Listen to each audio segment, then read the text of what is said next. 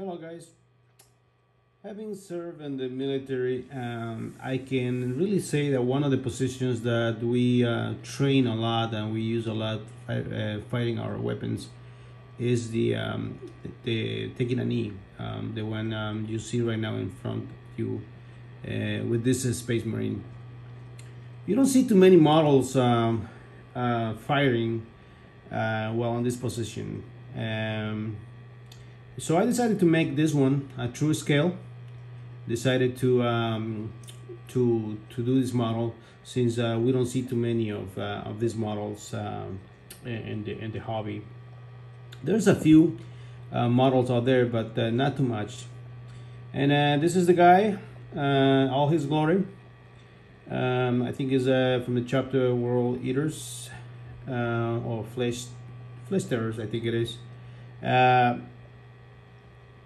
flesh yeah flesh tearers is the the chapter if not if i'm not mistaken if i'm not just mistaken can somebody correct me in the in the in the uh, comments?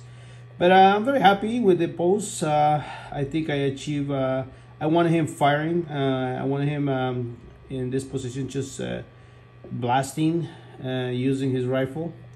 Um, put some accessories. I tried to i decided to put um, a sword in the side um, to give him a more presence and uh, this will be the comparison with the normal uh, Marine.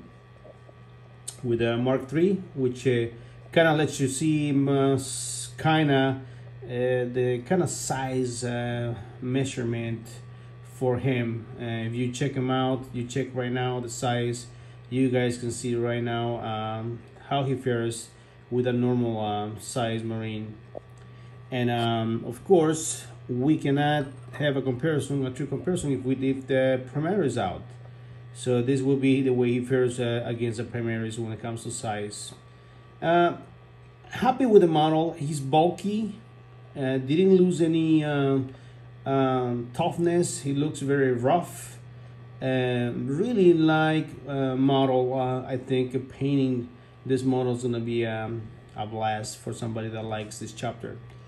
And um, this is the model guys. Like i say one more time just subscribe to the channel ring the bell um, for more um, information coming a few tutorials that i will make a lot of tutorials uh, with respect to uh, how to build these models how to make them look better how to make them um, true scale some modifications so you guys can add some um, variety to your army thank you very much for the time and um, subscribe ring the bell and if you guys can share you will help the channel a lot by sharing this uh, this video uh, in the social media. Thank you so much and bye bye